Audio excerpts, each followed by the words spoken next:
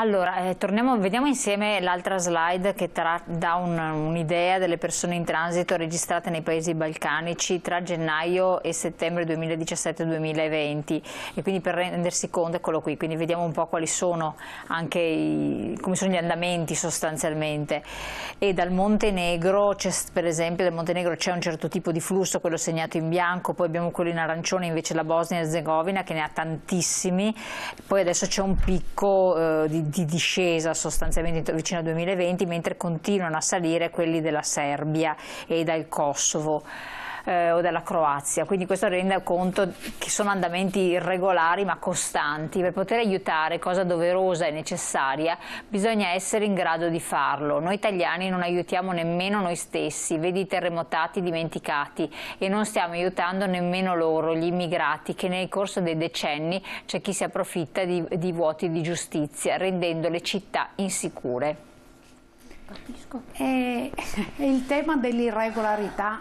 Eh, l'irregolarità è chiaro che crea insicurezza, di mm. questo siamo eh, consapevoli. Per questo serve un cambio di regole a partire dall'Unione Europea, perché non basta dire che eh, eh chi, è, chi eh, i migranti sono irregolari e quindi non creo neanche quei sistemi eh, le, le, le, mm, i, i, canali diciamo, eh, legalizzati, ma anche un ventaglio di tipologia di permessi di soggiorno, di eh, sistema di accoglimento che aumenti la regolarità, perché solo nella regolarità che io creo le regole per garantire la sicurezza ma siamo in una situazione e c'è stata recentemente una sentenza del Tribunale di Roma che ha evidenziato questo sistema di irregolarità per cui io non do neanche il tempo alle persone di fare le domande previste dalla nostra Costituzione, dalla Dichiarazione dei diritti umani di Ginevra, cioè eh, per il solo fatto che arrivo da un altro paese non ti metto nelle condizioni neanche di dire perché sei arrivato, in che condizioni, perché vuoi, sei venuto via dal tuo paese immediatamente ti considero un irregolare, una eh, eh, persona fuori dal, dalla legge e quindi ti rimando indietro. Cioè non c'è modo di dare alcun tipo di spiegazione di, eh, no, di cioè, in, proprio, ci sono del, è proprio una violazione di norme costituzionali e di norme anche internazionali. E nessuno controlla. Tant'è che l'Italia eh, il Tribunale di Roma ha condannato l'Italia a quello che eh, Rosanna chiamava il, eh, le riammissioni stati, negli stati di, eh, di arrivo, pensiamo alla per restare alla rotta balcanica.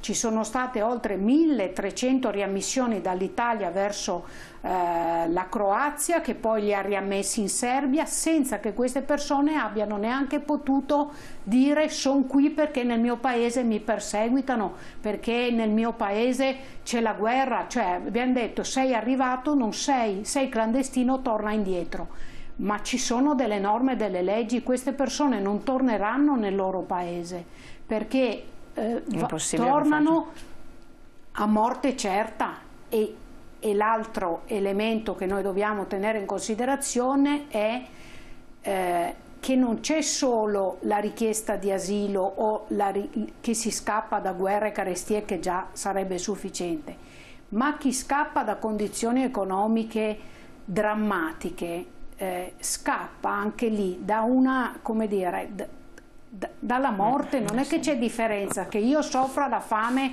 perché eh, il mio sistema economico no, non mi dà delle possibilità o che, o che, scappi mm. perché rischio la vita per la guerra, sono sempre una persona che ha della, della disperazione. Dopodiché noi dobbiamo creare le condizioni intanto del rispetto dei diritti umani di queste persone perché non possiamo rivedere scene, eh, lo diceva Rosanna, su eh, queste file di persone eh, senza scarpe, senza vestiti, in mezzo alla neve, che spesso vengono attaccate dalle unità cinofile delle, delle polizie di frontiera di quelle zone e che ci richiamano alla mente delle cose che pensavamo di non vedere più. E questo semplicemente perché sono delle persone che arrivano da un altro paese.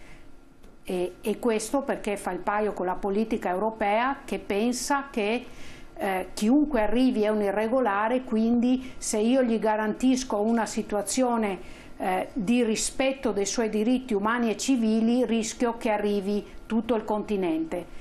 Non è così perché nessuno vorrebbe dover partire dalla sua terra. Io certo. credo che questo sia un elemento basi basilare dal quale dobbiamo partire. Ecco, Rosanna Vetella, ehm, vediamo anche l'altra slide per, per, capire i numeri, prima non accennava il discorso, non sono i numeri quelli di cui siamo a conoscenza, però comunque i numeri ci sono e sono anche eh, spaventosi perché possiamo immaginare numeri vuol dire drammi sostanzialmente, 86.649 arrivi via mare nel 2020, inclusi rifugiati migranti arrivati via mare in Italia, Grecia, Spagna, Cipro e Malta, questo è aggiornato al 31 dicembre, no? 7.431 arrivi via terra, inclusi rifugiati e migranti arrivati via terra in Grecia e Spagna. E 1066 la stima dei morti e degli scomparsi, questa è un'altra questione, scomparsi. Sì, sì, e che non si sa. È sempre appunto... molto approssimativa questa, mm. questo ultimo dato. Eh. Eh, pensiamo insomma al nostro Mediterraneo, chissà quanti, eh, quante persone sono davvero eh, morte.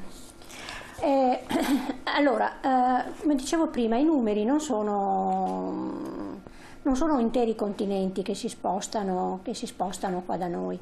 Eh, però c'è, eh, comunque una propaganda che io chiamo eh, fascista, eh, che eh, vede nel, nello straniero, nel diverso, nel chi viene da, da, da un altro paese, il nemico.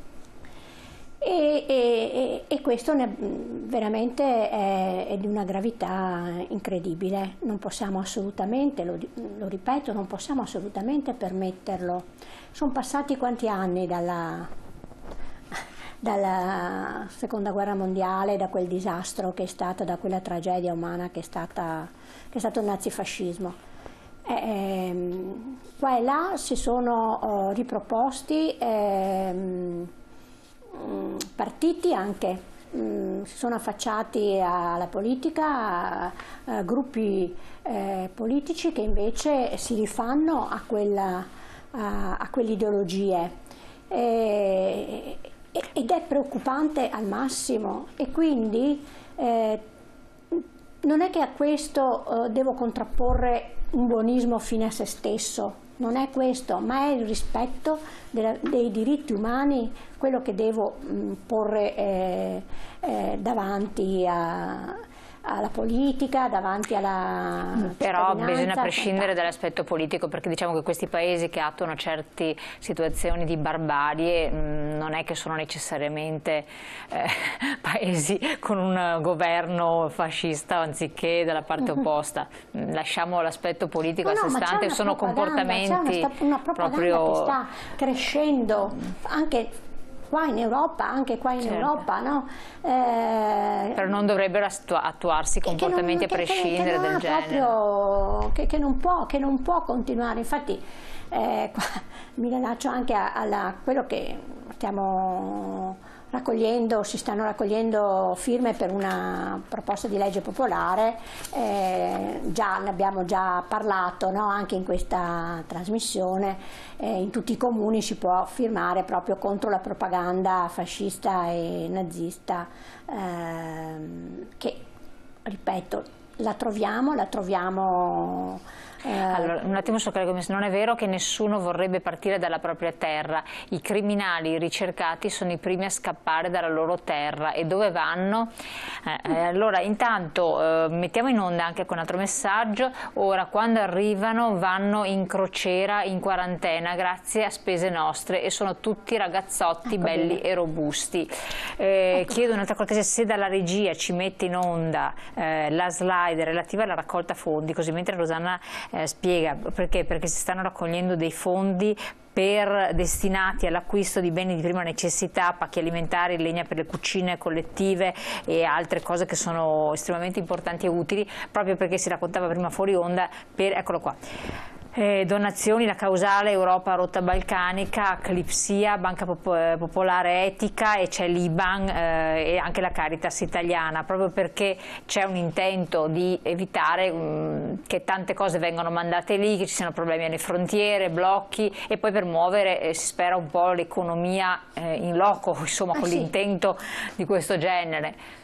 Eh sì, perché eh, laddove insistono questi campi, no? dove ci sono queste eh, situazioni così mh, mm, gravi, eccetera, eh, dove c'è un ammassarsi di persone, no? di un, si concentra un numero eh, importante di persone che che vorrebbero andare altrove, non vogliono stare là e questo è un po' quello che diceva anche Silvana, no? nel momento in cui noi facciamo entrare, eh, permettiamo l'ingresso illegale e non invece lo, uh, um, lo facciamo attraverso leggi, attraverso uh, flussi regolati e quant'altro, eh, poi è chiaro che l'illegalità si accompagna molto spesso anche alla criminalità perché uno per sopravvivere è disposto a qualsiasi cosa per, per salvare se stesso o la propria famiglia. Eh, devo interrompere un attimo, abbiamo la pubblicità, quindi pochi secondi, poi ritorniamo ancora insieme, eh, leggiamo eventualmente gli altri messaggi che arrivano prima della chiusura